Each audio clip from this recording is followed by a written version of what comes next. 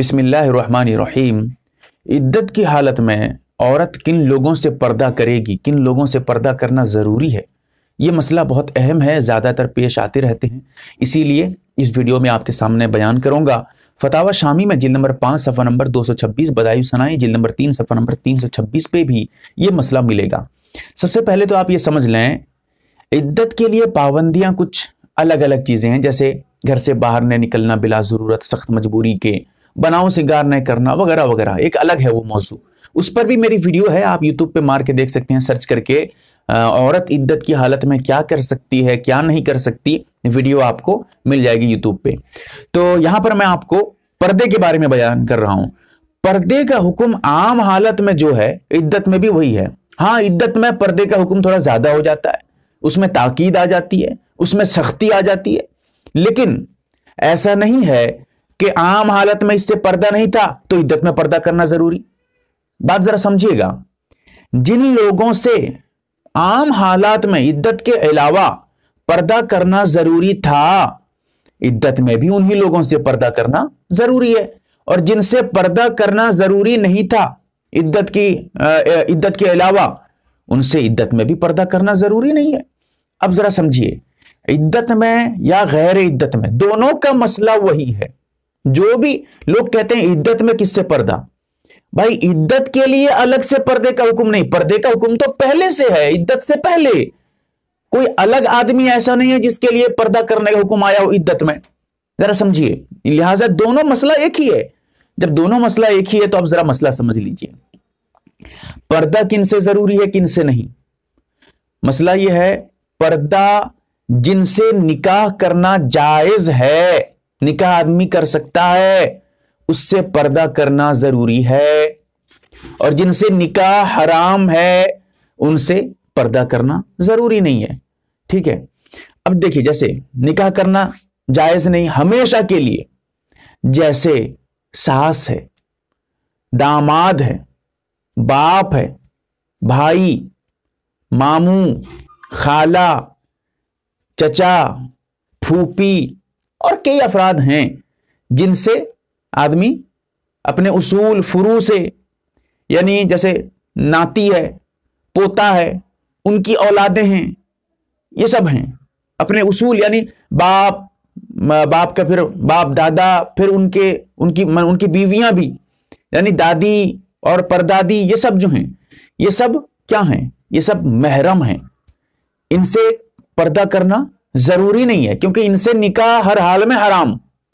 لہٰذا ان سے پردہ کرنا ضروری نہیں، اور عدت میں بھی ان سے پردہ ضروری نہیں۔ داماد اگر ملنے آئے عدت کی حالت میں، مل سکتے ہیں، کوئی دقت نہیں ہے۔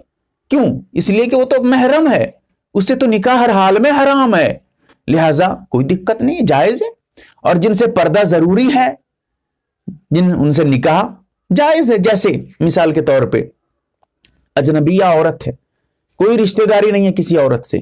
یا اجنبی مرد ہے، یا اسی طرح جو ہے خالہ کی بیٹیاں ہیں، یا ان کے بیٹے ہیں، چچا کی بیٹیاں ہیں۔ چچا تو محرم، لیکن چچا کی بیٹیاں جو چچا زاد بہن ہوتی ہیں۔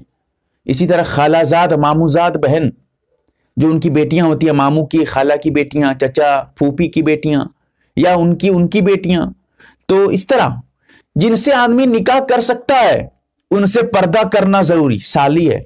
سالی سے بھی پردہ کرنا ضروری، کیونکہ اس سے نکاح کرنا جائز ہے، نکاح کر سکتا ہے۔ نکاح حلال ہے سالی سے، لہٰذا ہاں یہ بات ہے، بیوی اگر نکاح میں ہے تو سالی سے نہیں کر سکتا۔ لیکن کر تو سکتا ہے، بیوی کو چھوڑنے کے بعد، یا بیوی کے انتقال کے بعد، لہٰذا سالی سے پردہ ضروری۔ تو اسی سالہ اگر سالہ ہے یا دیور ہے دیور سے بھی پردہ ضروری، کیونکہ اس سے نکاح کرنا جائز ہے۔ تو جن سے نکاح کرنا جائز ہے، ان سے پردہ کرنا بھی ضروری ہے۔ اب سمجھیے، اگر کوئی عورت ایسی ہے جو نکاح میں کسی سے پردہ کرتی نہیں ہے، یا نکاح، عدت میں، نکاح نہیں، عدت میں عدت میں کسی سے پردہ کرتی نہیں ہے، یا عدت کی جو پابندیاں ہیں، اس کو وہ مانتی نہیں ہے، اس پہ عمل نہیں کر رہی ہے، ایسی صورت میں اس کی عدت کا کیا حکم ہوگا؟ جواب یہ ہے کہ عدت عدت میں بیٹھی نہیں ہے۔ لیکن عدت ایسا نہیں ہے، عدت میں بیٹھی نہیں ہے تو وہ وقت عدت میں شمار نہیں، پھر بعد سے شمار ہوگا، ایسا نہیں ہے۔ جتنا ٹائم عدت کا تھا، وہ سب عدت میں گزر گئے۔ اور یہ عدت میں بیٹھی نہیں، عدت کی پابندیاں پہ عمل نہیں کی ہے گنہگار ہوگی، توبہ کرے گی۔ معافی مانگنا اللہ سے ضروری ہے، کیونکہ عدت کے حکم کو وہ نہیں مانی۔ لیکن ہاں عدت کا وقت اگر نکل گیا ہے، نکل گیا ہے۔ اب دوبارہ عدت نہیں کرے گی۔ یعنی ایسا نہیں ہے، عدت کے حکم پہ عمل نہ کرنے سے، عدت میں جو پردہ کرنے کا حکم ہے، اس پردے پہ عمل نہ کرنے سے، عدت کی حالت میں پردہ نہ کرنے سے، گھر سے باہر چلے جانے سے عدت ٹوٹ جائے گی۔ عدت پہ کوئی فرق پڑے گا۔ ایسا نہیں ہے۔ ہاں حرام کام ضرور کر رہی ہے۔ عدت کے جو حکم کو نہ مان کر، عدت کی پابندیاں کو نہ مان کر۔ لیکن ایسا نہیں ہے کہ پردہ نہیں کرے گی تو عدت کا ٹائم بڑھ جائے گا۔ عدت کا ٹائم جو ہے عدت میں جو ہے اضافہ ہو جائے گا، یا عدت میں جو ہے عدت ختم ہو جائے گی، ایسا کچھ نہیں۔ ہاں پردہ نہیں کرے گی، گناہ اس کو الگ سے ملے گا۔ ذرا سمجھنے کی بات ہے۔ اور جہاں تک عدت میں شوہر سے پردہ کرنے کی بات ہے، اگر وفات کی عدت ہے، شوہر تو انتقال کر چکے ہیں، وہاں تو پردے کی کوئی بات ہی نہیں ہے۔ لیکن اگر طلاق کی عدت ہے، پھر وہاں پر ایک مسئلہ آتا ہے، شوہر سے پردے کا کیا حکم ہوگا؟ تو اس کو ذرا سمجھ لیے جواب ہی ہے اگر طلاق رجعی ہے، ایسی طلاق دیا ہے کہ جس سے نکاح ابھی ٹوٹا نہیں ہے، اسے رجوع کرنے کا حق ہے طلاق رجعی، تو اس طلاق میں عورت کے لیے ہے کہ وہ پردہ نہ کرے، بلکہ مناسب اور بہتر یہ کہ بناؤ سنگار کرے، شوہر کے سامنے اور بن سنور کر جائے تاکہ شوہر ہو سکے، رجوع کر لے، پھر اس کو اپنے نکاح میں لے آئے یعنی رج جو ہے رجعت کا حکم ہے اس کے لیے اور وہ بناؤ سنگار کرے، فائدہ اس کے لیے ہے۔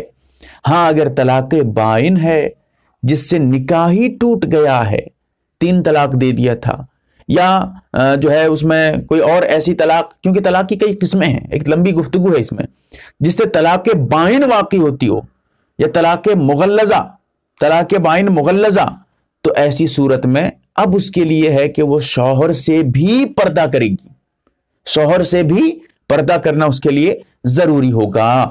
بہر کے چند باتیں بہت ضروری تھیں۔ اللہ تعالی ہمیں سمجھنے کی توفیق دے۔ آمین۔ یا رب العالمین۔